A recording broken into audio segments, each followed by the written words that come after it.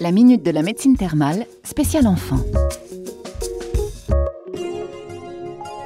Certaines stations thermales ont mis en place des ateliers thérapeutiques pour les jeunes curistes. Présentation de ces activités innovantes avec Marie-Ange Martin-Sic, directrice des Thermes d'Aven. Alors de plus en plus de stations thermales ont mis en place des programmes d'accompagnement au-delà des soins qui ont pour objectif en fait d'aider le petit patient et sa famille à mieux gérer sa maladie au quotidien.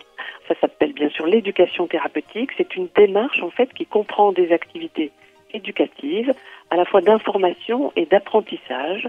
Alors ces ateliers sont en fait des moyens d'échanger entre les parents et également les enfants, à la fois sous forme ludique et puis sous forme privilégiée, de moments de complicité hein, entre les parents et leurs enfants.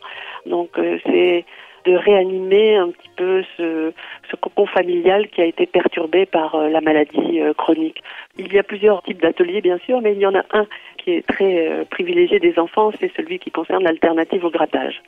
C'est une thématique qui va donner des solutions à l'enfant et puis surtout aux parents et qui va déculpabiliser l'enfant de se gratter.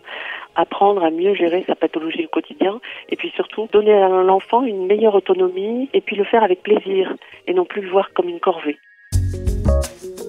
la médecine thermale, efficace pour longtemps. Plus d'informations sur le site médecinethermale.fr.